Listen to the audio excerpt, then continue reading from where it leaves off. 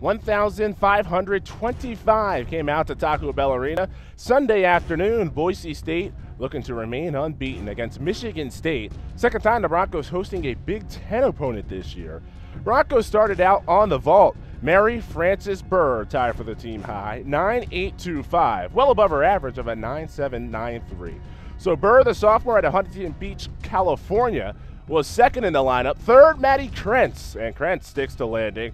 Another 9.825 for the senior from Cave Creek, Arizona. It's her fifth vault win of her career. Boise State had the lead after the first rotation, an even 49.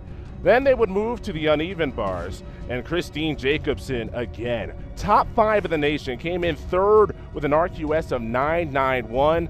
9-9 are a couple of good numbers. That was her score on the bars. Boise State a 49-3-2-5 on the bars had the lead heading into the third rotation, which was the beam, and a trademark moonwalk for Shani Remme, who had an incredible meet.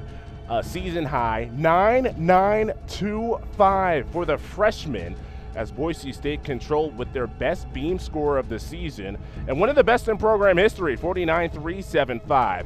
Head over to the final floor, and Shani Remme continues to shine. 9-8-7-5, which was tied for the overall lead with Elena Lagoski of Michigan State, but Shani Remme controlled it. Also won the all around with a 39 3 7 5. Boise State's freshman at home smiles, and the Broncos get a victory, their 10th of the season. The score of 196 575, which is a season high. Boise State will finish out the Mountain Rim regular season before the conference championships. Next weekend, the Broncos a tri-meet at Taco Bell Arena.